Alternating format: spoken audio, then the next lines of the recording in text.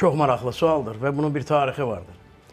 Ermənistan sülh müqaviləsini imzalayıb Azərbaycan ərazi bütövlüyünü tanıyacağı halda münaqişənin və müharibənin tərəfi olduğunu boynuna almış olacaq. Necə ki, bunlar 30 il müddətində, hətta 35 il müddətində bütün gücləri ilə bunu, e, bu məsələdən boyun qaçırdırdılar ki, Azərbaycanın ərazisində erməni qoşunları yoxdur.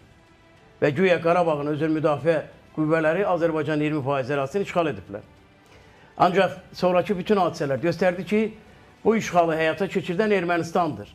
Ermənistan indi müharibənin tərəf, tərəfi kimi imza atıb, özün tərəf kimi göstərib, təzminat davasında öz üzərinə çəkmək istəmir.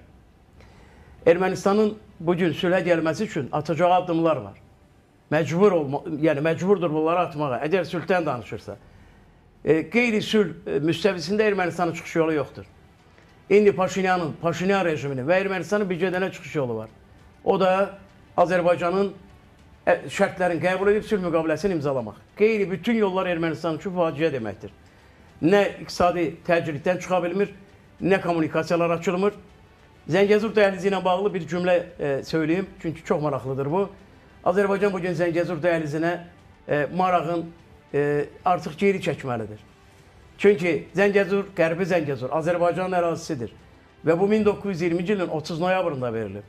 Bugünkü Azərbaycan Sovet Azərbaycanının varisi deyil. Sovet Azərbaycanın qəbul etdiyi heç bir bugün bizim üçün legitim sayılmır. Azərbaycan Demokratik Azərbaycan Cumhuriyyətinin varisidir və hüquqi yoluna 1920-ci il 30 noyabrda Sovet İttifaqı, e, Sovet hakimiyyəti qurulandan sonra Zəngəzurun Ermənistana verilməsin Azərbaycan mübahisələndirib e, geri ala bilər. Ancaq Zəngəzur dəhlizi məsələsi sülh müqaviləsinə otursa, o artıq Azərbaycanın gələcək hüquqi addımlarını bloklamış olacaq.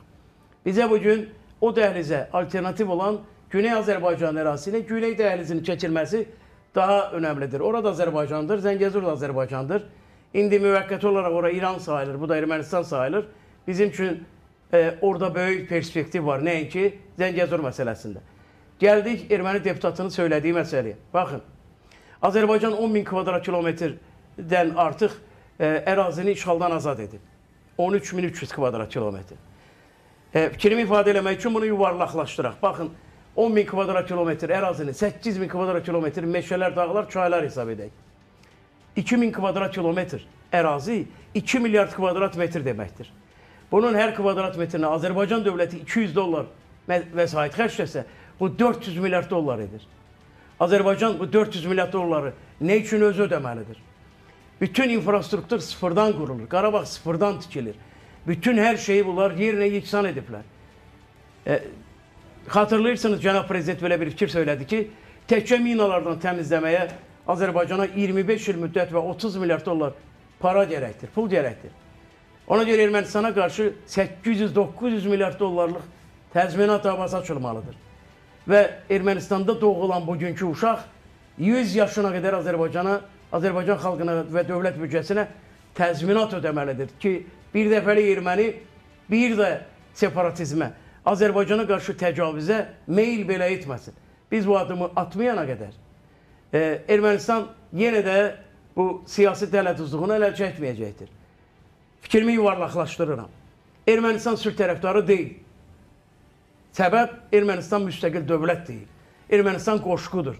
Ermənistan bir tərəfdən Tehranın, bir tərəfdən Moskvanın, bir tərəfdən Parisin, digər tərəfdən Vaşinqtonun, Afinanın, Deylinin sifarişlərini yerinə yetirir. Biz Ermənistanla danışanda kiminlə danışırıq? Axı Ermənistan beynəlxalq hüququn subyekti deyil. Üstünə götürdüyü ötəliyi yerinə yetirmir.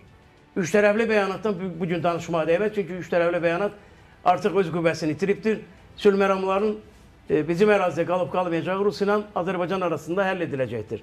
Burada Ermənistana aid heç bir şey yoxdur. Üç tərəfli bəyanatdan bugün danışmağa belə dəyməz. Amma e, Ermənistan referendum keçirməyənə qədər Paşinyana hüquq verilməyənə qədər ki, sən e, Azərbaycan ərazi bütövlüyünü tanıya bilərsən, onun imzaladığı heç bir sənədin heç bir qüvvəsi yoxdur. O bir çərkivə sənədi olacaqdır. Deyilmi? Bugün Ermənistan anklavların azad olunmasına qarşı çıxış eləyir. Bugün e, Azərbaycan güya Ermənistanın ərazisinə təcavüz edəcək deyə bir e, informasiya axını atılıb ortaya. Bəli, güya Hətta Blinkenin adından siyasi alıb edəcək deyə Baxın, bir hansısa səbəb varmı buna? Azərbaycan qoşun mu toplayıb ora? Azərbaycan hansısa bir hərəkəti e, var ortada. Yoxsa biz Avropalıların qarşısında əlimizi İncilə, müqəddəs İncilə basıb and içməliyik ki, biz ora hücum etmək istəmirik. Baxın, 30 il Azərbaycanın e, torpaqlarını işğalda saxlamış təcavüzkar dövlət e, dövlətdən deyil, təcavüzün qurbanı olan dövlətdən qarantiya istəyirlər. Yəni bu yanaşmada Ermənistan da e, e, bizə bir e, dəbə düşmüş bir fikir var. Güya Paşinyan hakimiyyətə gələn kimi qərb dəyərləri ilə yüklənib o istiqaməti seçdi. Qətiyyən bu cür deyil. Paşinyan qərbin qarşısında Rusiyanı şantaj edir, Rusiyanın qarşısında qərbi şantaj edir və özünün ömrünü uzatmağına siyasi dələduzluqla məşğul olur.